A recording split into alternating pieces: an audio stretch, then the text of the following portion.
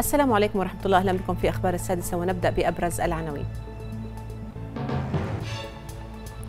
توقيع اتفاقية تشييد مجمع الخدمات الاجتماعية بمدينة عيسى. وزارة الأشغال وشؤون البلديات توزع البطاقات الزراعية على المزارعين. حملات تفتيشية مكثفة على مزاولي أنشطة النقل العام من دون ترخيص.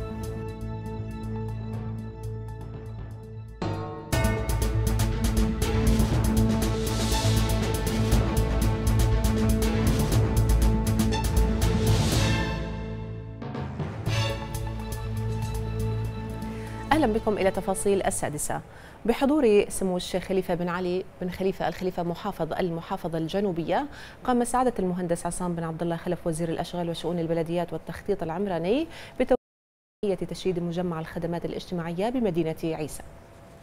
وقع سعادة المهندس عصام بن عبد الله خلف وزير الأشغال وشؤون البلديات والتخطيط العمراني اتفاقية تشييد مجمع الخدمات الاجتماعية بمدينة عيسى مع تحالف المقاولين الكويتي والبحريني وذلك بحضور سمو الشيخ خليفة بن علي بن خليفة آل خليفة محافظ المحافظة الجنوبية وعدد من الوزراء وكبار المسؤولين حيث جاءت تكلفة إنشاء هذا المشروع بعد أن تمت ترسيته من قبل مجلس المناقصات والمزايدات بتكلفة بلغت نحو سبعة ملايين وثلاثمائة وسبعة وأربعين ألفا وتسعمائة وأربعة وتسعين دينار وستستغرق مدة التنفيذ ستة وعشرين شهراً. المحافظة الجنوبية اليوم تشهد نمو وازدهار في جميع المجالات الخدمية والاجتماعية ولا شك افتتاح هذا المشروع الرائد في منطقة مدينة عيسى في المحافظة الجنوبية راح يكون مكسب كبير لنا جميعا وراح يخدم مختلف الخدمات في المجال الاجتماعي. ونحن في المحافظة نثمن الجهود التي تبذل من, كف من كافة الجهات والوزارات ونحن نعتبر أنفسنا شريك في متابعة هذه المشاريع وحريصين دائما لمتابعة احتياجات الأهالي خاصة في المجال الخدمي والاجتماعي والأمني. هذا المشروع الجديد اللي تحرص الحكومة على إطلاقه اليوم هو مركز جديد يقدم خدمات متميزة لكبار المواطنين ممن يحتاجون لإقامة دائمة أو مؤقتة. سوف تقدم لهم خدمات متميزة طبية نفسية اجتماعية لمن تثبت حاجته لمثل هذه الخدمات. تصميم المشروع يتناسب مع المتطلبات الحديثة لوزارة العمل والتنمية الاجتماعية فيما يتعلق بتصميم نموذج متطور من المباني يواكب التطور المستمر في المملكة ويوفر بيئة مريحة وممتعة في الخدمات والرعاية الاجتماعية.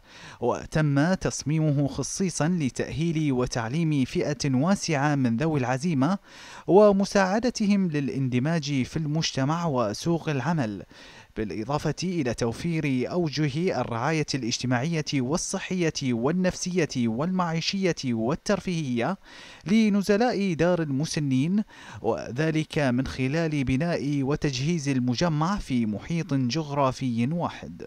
قمنا في تصميم هذا المركز والذي سوف يقام على أرض مساحتها حوالي 35 ألف متر مربع. ومساحة بناء حوالي 15 ألف متر مربع وسوف يحتوي على أربعة مباني للتنمية الاجتماعية في وزارة العمل والشؤون الاجتماعية في مجالات رعاية المسنين وأصحاب المهن. سيتم هدم المركز الاجتماعي الحالي بمدينة عيسى ليتم بناء مجمع الخدمات الاجتماعية الشامل مكانه بإجمالي مساحة بناء تبلغ حوالي 15050 مترا مربعا. كما تم الأخذ بعين الاعتبار في التصميم متطلبات ومواصفات الاستدامة والمباني الخضراء وتطبيق سياسة ترشيد استهلاك الطاقة للحفاظ على البيئة والموارد الطبيعية. كما روعي في هذا التصميم توفير كل التسهيلات لتنقل وحركة ذوي العزيمة قامت وزارة الأشغال وشؤون البلديات والتخطيط العمراني بتوزيع البطاقة الزراعية على المزارعين وذلك نحو سعيها لتنفيذ مجموعة من الخطط التي وضعتها ضمن استراتيجيتها للنهوض بالقطاع الزراعي بمملكة البحرين. حيث قام بتوزيع البطاقات المهندس عصام بن عبد الله خلف وزير الأشغال وشؤون البلديات والتخطيط العمراني بحضور وكيل الوزارة للزراعة والثروة البحرية الدكتور نبيل محمد أبو الفتح والأمين العام للمبادرة الوطنية لتنمية القطاع الزراعي الشيخة مرام بنت عيسى الخليفة. ويأتي توزيع البطاقات الزراعية انطلاقا من حرص الوزارة على المضي قدما في سبيل دعم المزارعين البحرينيين وتسويق منتجاتهم التي تشكل نقطة مفصلية في النهوض بهذا القطاع. وأوضح وزير الأشغال أن توزيع البطاقات الزراعية يأتي انطلاقا من حرص الوزارة على المضي قدما في سبيل دعم المزارعين البحرينيين وتسويق منتجاتهم التي تشكل نقطة مفصلية في النهوض بهذا القطاع.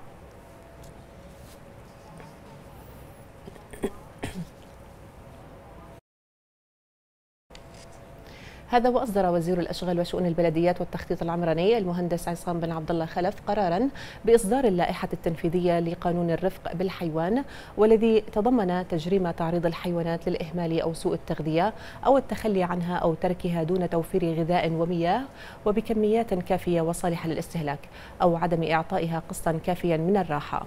وتمنع اللائحة حجز الحيوانات أو نقلها بطريقة أو بوسيلة غير مهيئة أو خلط أنواع مختلفة من الحيوانات مع بعضها البعض دون مراعاة للجنس أو العمر أو الفصيل مع عدم تقديم ما يلزمها من غذاء أو ماء أو تهوية جيدة إلى جانب منع عرض أو الإتجار بأي حيوان مريض أو مصاب ورفع الحيوانات غير القادرة على القيام أو سحبها بطريقة مؤلمة تسبب لها الجروح أو الكدمات أو الكسور أو الخلع. وتحظر اللائحة ممارسة أي صورة من صور التعدي بما فيها التعدي على الحيوانات والتخلص من الحيوانات المريضة بطريقة غير رحيمة كاستخدام طرق الموت البطيء أو أي طريقة تسبب لها رعبا أو فزعا أو تحدث لها ألما شديدا دون أي مبرر أو تقديم السم عمدا لها. قامت إدارة رقابة وتفتيش النقل البري بوزارة المواصلات والاتصالات بالتعاون مع الإدارة العامة للمرور لعمل حملات تفتيشية مكثفة على مزاولي أنشطة النقل العام دون ترخيص وذلك خلال عام 2019 وجاء ذلك حرصا من قطاع النقل البري على ضرورة تفعيل الأداة الرقابية على جميع مزاولي أنشطة النقل العام حيث تم رصد 589 مخالف وتم تحويلهم للنيابة العامة للنظر والبت في المخالفات التي تراوحت بين غرامة مالية واستبعاد عن البلاد في حق الأجانب. وتستمر هذه الحملات من أجل تحقيق استراتيجية الوزارة التي ترمي إلى تنظيم قطاع النقل البري وتفعيل أعلى معايير الرقابة والتفتيش للوصول إلى نقل آمن ومستدام.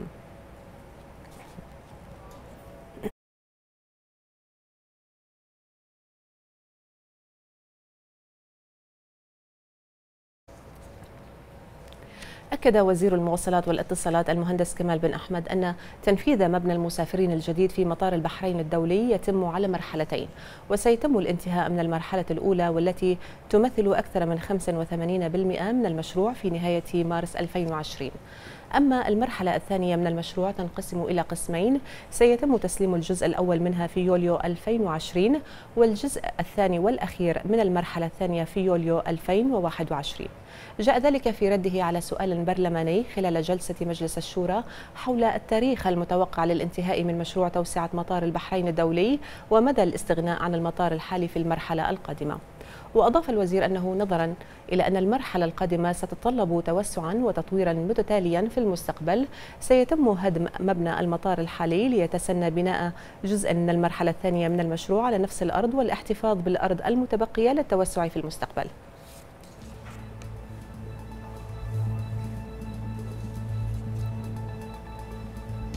السادسة مستمرة وتتابعون فيها بعد قليل. لعبة الكاهوت برنامج تعليمي مبتكر يدمج ما بين المرح والفائدة.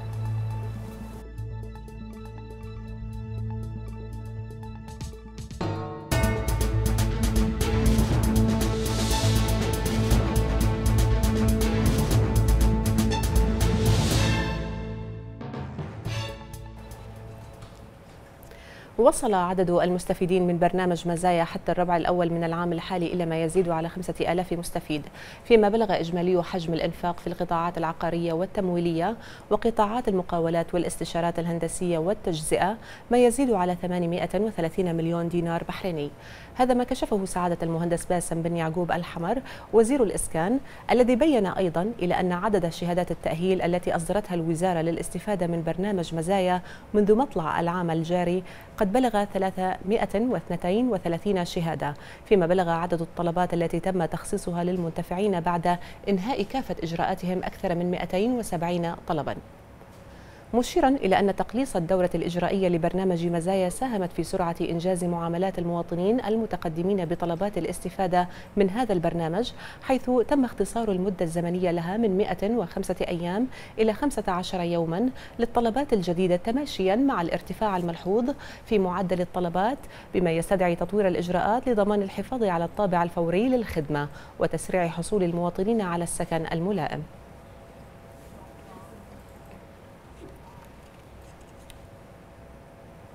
في إطار اهتمامها بتوسيع الرقعة الخضراء وإبراز الجانب الجمالي في الشوارع العامة والحدائق والمماشي وتحت رعاية سعادة الشيخ مرام بنت عيسى الخليفة الأمين العام للمبادرة الوطنية لتنمية القطاع الزراعي قامت بلدية المنطقة الجنوبية في إطار فعاليات أسبوع الشجرة وتحت شعار يلا نزرع بزراعة عدد من الشتلات في ممشى الرفاع بحضور رئيس المجلس البلدي بالمنطقة الجنوبية السيد بدر التميمي ومدير عام بلدية المنطقة الجنوبية المهندس عاصم عبد اللطيف عبد الله وأعضاء المجلس البلدي وعدد من المسؤولين والموظفين في البلدية.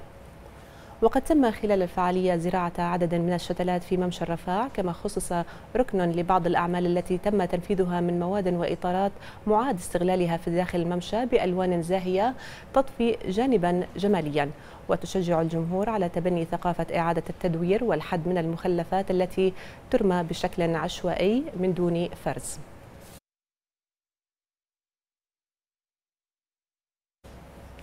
يعد التدريس باستخدام الألعاب التعليمية التكنولوجية من أبرز الطرق والاستراتيجيات التدريسية الموجودة في في العالم اليوم.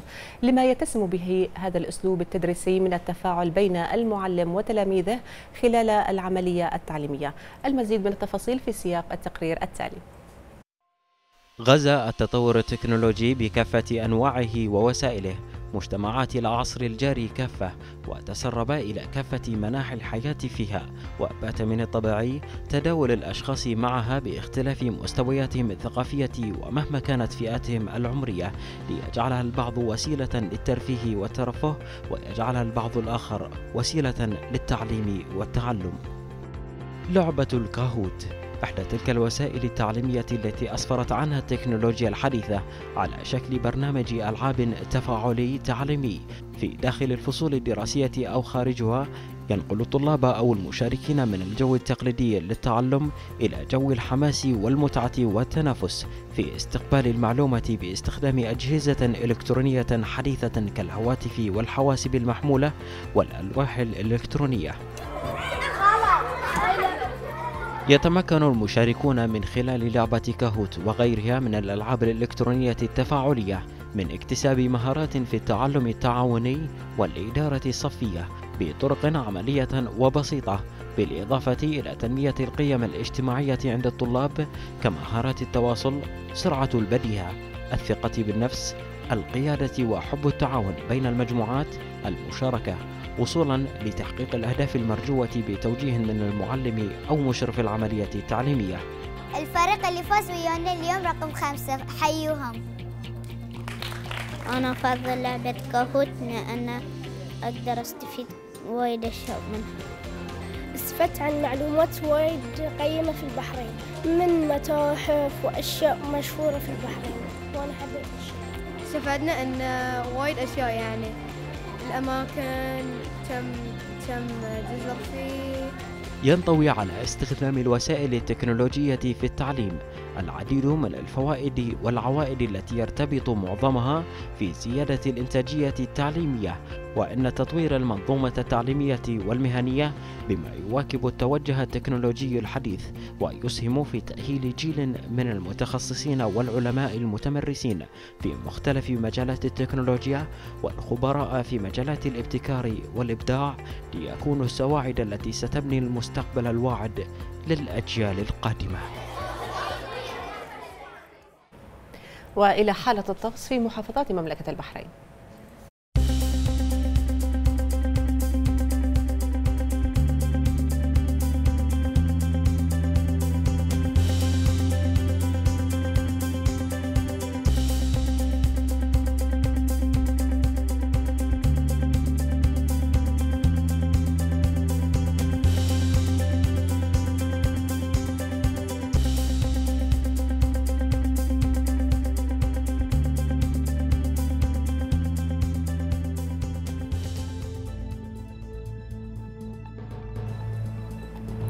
ختام نشرة السادسة شكرا لكم على طيب المتابعة وإلى اللقاء.